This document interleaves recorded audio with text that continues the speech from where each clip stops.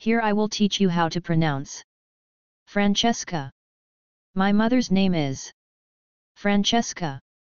Well done, please like this video.